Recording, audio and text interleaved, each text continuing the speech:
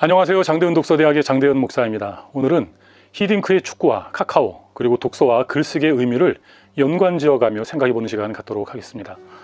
2002년도 월드컵 하면 우리 모든 국민은 기억하고 있습니다. 히딩크가 이끌었던 월드컵 4강 말 그대로 신화였습니다. 우리나라의 현실적인 실력으로서는 도달할 수 없는 그러한 결과를 내었기 때문에 세계적으로 그리고 특별히 우리나라에서 히딩크는 영웅처럼 어, 떠받들여졌습니다. 그가 우리나라 처음 왔을 때 그리고 그가 축구 감독으로서 지휘봉을 잡고 진행할 때 그렇게 좋은 시선을 받지 못했습니다. 하는 시범 경기마다 좋지 못한 결과를 내었었어. 특별히 5대 0이라고 하는 어떤 나라인지는 기억이 나지 않지만 5대 0으로 우리나라 국가대표팀이 졌을 때는 정말로 모든 매스컴과 우리나라의 지도자들이 히딩크를 비판하고 나섰습니다. 그리고 이유를 찾기 시작했죠. 그러면서 그의 훈련 방식에서 이유를 찾았습니다.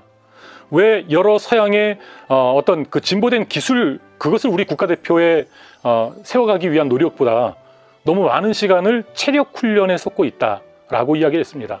그러자 히딩크의 판단은 달랐습니다. 우리나라 선수들의 기술이 어떤 서양의 어떠한 클럽에 그리고 나라와 비교했을 때 크게 뒤지지 않는다. 그러나 하나 뒤지는 것이 있다고 한다면 체력이다. 우리나라 축구가 결과를 내지 못하는 그 문제의 요인을 뭐 그가 물론 체력 훈련만 한 것은 아니겠죠. 그러나 그의 아, 마스터키, 문제 해결의 히든키는 체력으로부터 문제를 풀어나가기 시작했습니다. 체력이 조금만 더 뒷받침된다면 지금 그들에게 준비되어 있는 기술도 좋은 결과를 낼 수 있을 뿐만 아니라 새로운 좋은 기술과 탁월한 좋은 전술들이 그 체력이 뒷받침됐을 때야만 바로 현장에서 결과로 이어질 수 있다. 좀만 기다려라 라고 우리나라 국민들과 그리고 다른 축구 지도자들을 다독였습니다. 그리고 그는 결과를 만들어내었습니다. 어, 단순하게 히딩크는 체력 위주의 훈련 그리고 그런 전술을 폈다라고 이야기할 수는 없습니다. 그는 우리나라에 와서 선수들과 시스템과 그리고 훈련 방식들을 보면서 그리고 선수들을 보면서 어, 문제 해결을 위해서 필요한 것이 무엇인가를 찾았겠죠. 그리고 무기 중심을 초반에 체력이라고 하는 것을 보강하는 데 두었다라는 것입니다. 그가 봤던 체력, 그리고 그가 했던 훈련들, 다른 축구 감독들과 다른 지도자들이 하지 않았던 것이 아닙니다. 항상 해왔던 것이었습니다. 그러나 그의 눈에는 2% 부족함이 보였습니다. 그래서 다른 것을 약간 포기하며 그 체력을 보강하는데 우선순위를 두었습니다. 바로 우선순위죠. 그리고 나머지 훈련들도 얼마나 체계적으로 했겠습니까? 그리고 그는 결과를 만들어 냈습니다. 여러분 지도자의 눈에 무엇이 보이느냐 무엇이 우선되는 것이고 무엇이 중요한 것이냐라고 하는 것을 판단하는 것은 너무 중요합니다. 왜냐하면 지도자의 판단은 그 누군가 피지도자 부모의 판단은 자녀 교사의 판단은 학생 국가 정치인들의 판단은 국민들에게 바로 어떤 결과로 어떤 영향력으로 연결되기 때문이죠. 히딩크의 판단은 우리나라 국가대표 선수들의 좋은 성적으로 연결되었습니다. 보이지 않는 문제를 파악하는 거죠. 바로 그 보이지 않는 문제를 해결하는 것으로부터 좋은 결과를 이끌어 나가는 노력을 지속했습니다. 여러분 여기서 기, 억해야 될 것은 체력 훈련만 한 것은 아닙니다. 거기로부터 출발했다라고 하는 것이죠. 여러분 카카오는 어떻습니까? 카카오라고 하는 그 기업은 어찌 보면 그 제가 책들을 보다 보니까 그 valuation이라고 하더라고요.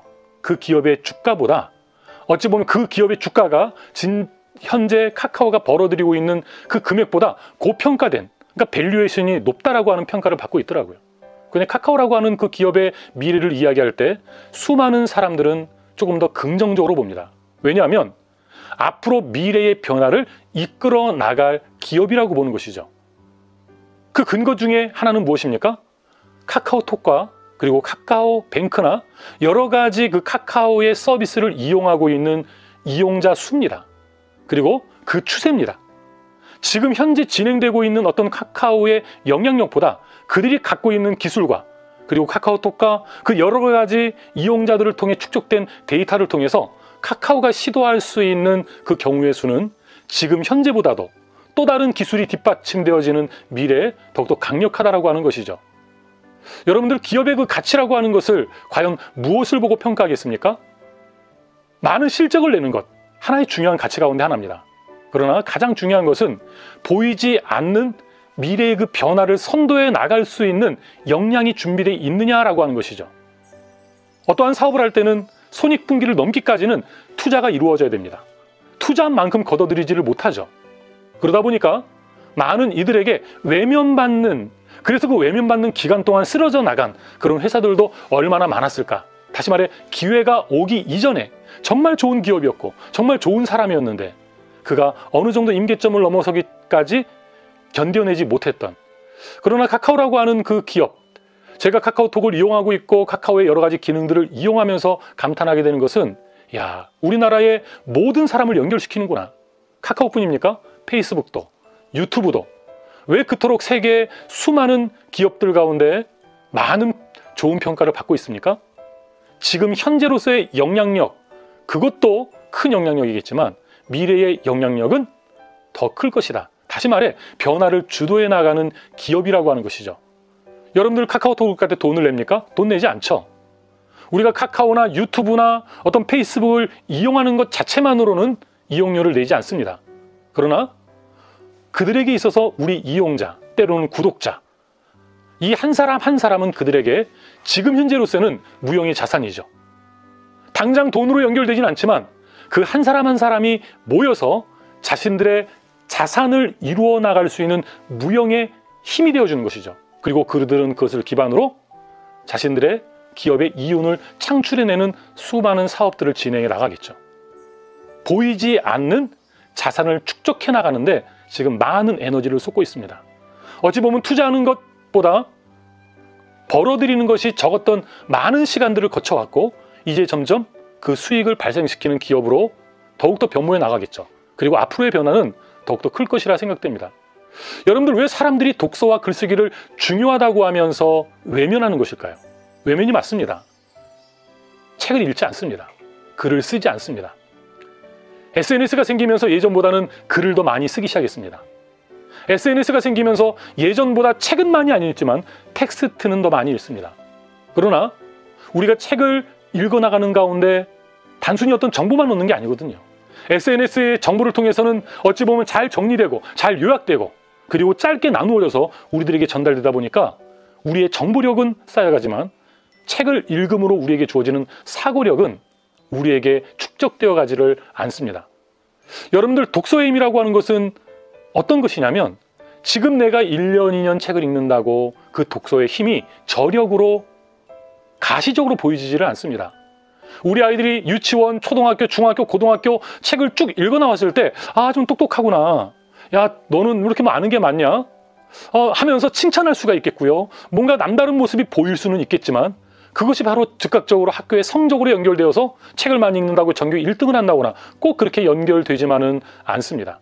그러다 보니까 가시적인 결과를 당장 보여줄 수 없는 학교에서는 성적이라고 하는 수치로 그들의 등수를 보이고 그리고 그것을 통해서 평가하는 시스템 그리고 그 평가로 대학을 지나가게 되는 그 상황 속에서 독서와 글쓰기의 시간을 쏟을 수가 없는 것이죠. 비가시적인 어찌 보면 무형의 역량 지금은 당장 눈에 보이지 않는 그 역량이 자라나는 것을 확인할 수가 없는 거죠. 그러나 학교 성적은 점수로 나오잖아요. 그러다 보니까 그 점수를 높일 수 있는 그 일에 사교육에 영어와 수학에 많은 시간을 쏟게 되는 것이죠. 여러분들 독서와 글쓰기가 단순히 그 행위 자체에 있는 것이 아닙니다. 얼마나 많이 읽었느냐. 안 읽는 사람에 비교한다면 많이 읽는 것은 중요합니다. 그러나 그 눈에 보이지 아니하는 너 역량을 키워나가기 위한 독서. 제가 강조하는 트리비움의 역량을 키워나가는 그 독서는 인생을 살아나가는 데 가장 필요한 우리의 사고의 능력, 생각하는 그 역량, 트리비움의 역량을 키워주는 가장 탁월한 방법입니다. 독서와 글쓰기, 가장 느린 듯하고 지금 당장에는 무형의 자산처럼 여겨질 수 있는, 아니, 눈에 보이지가 않죠. 측정할 수가 없습니다. 함께 대화해보고 오랫동안 교제하는 가운데 그의 진면목을 볼 수 있을지언정 어떤 단번의 시험을 통해서 그 역량, 그것을 측정하기란 참 쉽지가 않습니다. 오늘 제가 히딩크 얘기를 했고요. 그리고 카카오의 얘기를 했습니다. 그리고 독서의 이야기를 했습니다. 서로 다른 영역이고 좀 비교 불가한 어떠한 그런 차원이 다른 것들이지만 공통점은 뭐냐면 눈에 보이지 아니하는 그 역량을 보았고 그것이 중요한지를 알았고 그것에 우선순위를 두고 그것을 위해 무언가 투자를 해 나간다라는 것이죠. 그랬을 때 어느 정도의 시간이 지나면 임계점을 넘어서는 그 순간이 오면 다른 많은 요소들과 함께 상합해 가면서 우리가 생각하는 것 이상의 결과를 낸다라는 것입니다. 여러분들 독서는 매우 중요합니다. 여러분 글쓰기 너무 중요합니다.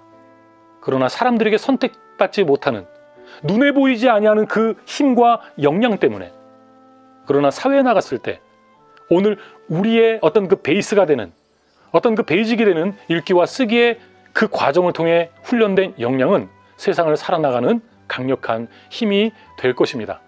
여러분과 여러분들의 자녀들에게 보이지 아니하는 힘을 볼 수 있는 눈이 생겼으면 좋겠고요.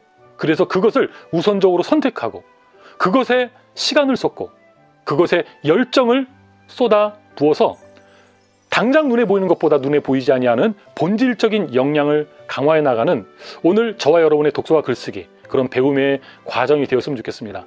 이 유튜브도 유튜브를 듣기만 하면요 여러분들의 역량이 자라질 않습니다. 어떤 정보 잠깐 스쳐 지나가는 insight 정도는 얻을 수 있겠죠. 안 듣는 것보단 낫겠죠. 그러나 한번 여러분들 기록해 보십시오. 제 말을 받아 적는 것이 아니라 제 말을 들을 때 여러분의 기존 지식과 만나면서 드는 그 느낌과 생각 그것을 글로 기록하십시오. 저는 유튜브를 볼 때 10분짜리 유튜브를 처음부터 끝까지 한꺼번에 보는 적은 거의 없습니다. 듣다 보면 어떤 생각이 떠올라요. 그러면 멈춥니다. 그리고 글쓰기를 합니다.